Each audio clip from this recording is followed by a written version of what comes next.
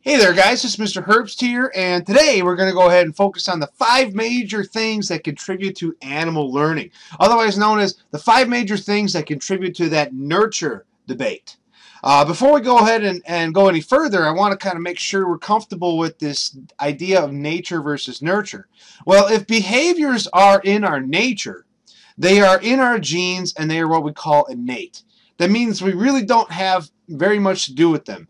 Um, things that are in our nature to do are very difficult to consciously ignore. They're very hard to ignore.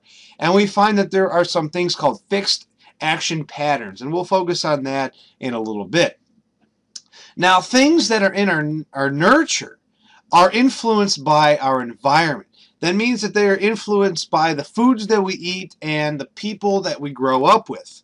And they are largely learned. And there are five major ways that they can be learned. And we're going to focus on that in our PowerPoint here. The five major ways that they can be learned are through habituation, imprinting, association, imitation, and problem solving. Now the first thing is habituation. Now I know it might be a little bit hard to tell, but take a look over at this uh, picture right here. These two things over here are scarecrows. And look at all these little little funny geese over here. They're not they're they're not scared of that scarecrow at all. Well, that's kind of what habituation is, where eventually being sort of exposed to something for so long, it kind of uh, diminishes its uh, sort of value. So eventually a behavior be, may become diminished due to repeated exposures.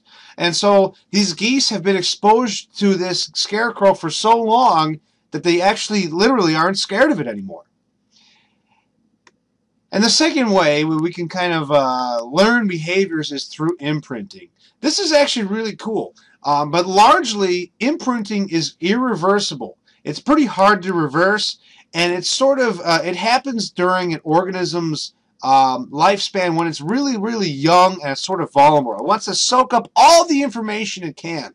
A really good example of imprinting is right here. Where take a look. That, that these are all like geese and they're all following around this guy right here. The geese happen to like the first the second that they're hatched, they sort of uh, most birds that the second that they're hatched, they sort of associate the first thing that they that they see is that's their mother, and they sort of follow that thing around all the time. So the first thing that these ducks or geese sort of found, saw at first was was this human being, and that now they follow it around no matter where it goes. It's imprinted in their brain. Just boom, they know to do it all the time. Another really good example of imprinting is within salmon. Now, fish don't take care of their young, but these salmon were born in a river somewhere in Alaska, and the the odors, the smell, the, the the visual things, the association, they actually sort of associate the area with where they were born. So it's imprinted in their brain. So if you know a little bit about salmon, they have to always go back to the same place they were they were born to spawn. So these salmon here will will climb up waterfalls just to go back to the same place that they were they were born, they were spawned at, in order to make new babies. The third thing, uh, the third way thing that behaviors are learned is through association. Uh, this is pretty cool. Um, where things, uh, uh where animals tend to associate two things, uh, whether that be negative or positive. In this case, we have a whole bunch of ducks. These ducks right here are, are, are associating that this human here has food. And so over time, they have sort of associated that humans have food, so let's hang around humans. Let's come up to humans and let's let's uh, try to get as much as we can out of humans. And so that's sort of a, a positive sort of uh, association. Well, what about when there's a negative association? Sometimes uh, animals one of the strongest ways that animals learn is simply by trial and error. And go figure, humans are no different. We learn by trial and error as well. This, well, this poor guy right here, this poor wolf, uh, look at all those little thorns in his face. Um, I think he's figured out pretty quick, hey, don't mess with a porcupine. Let's not try to eat a porcupine. And so he figured out pretty quick, you mess with a porcupine, you're going to get some thorns in your face. That is a trial by error uh, sort of, uh, trial and error sort of uh, learned associated behavior. And finally, uh, a, another really cool uh, example of how behaviors are learned is through imitation. And simply, um, imitation is, is kind of like learning from your parents or, or learning from others. And no other example is more cool than dolphins. Dolphins, um, the one, at least in Florida, I don't know if this exists anywhere else, but I know this exists in Florida, where dolphins will swim into this circular pattern like this, and they'll, and they'll sort of uh, swim, and they'll kick up the dirt on the bottom of the ocean and that dirt will sort of create like this cloud or this ring of, of, of, of dirty water. And all the fish that are in here will try to jump off to over that, uh, they, they perceive it as being a wall, but it's actually just, you know, dirty water. But it look to them, it looks like a wall. So they're trying to jump over it. And guess what? On the other side of that little ring, that's right, they're sitting the little dolphins. The dolphins are sitting there with their mouths open, trying to catch as many fish as they can.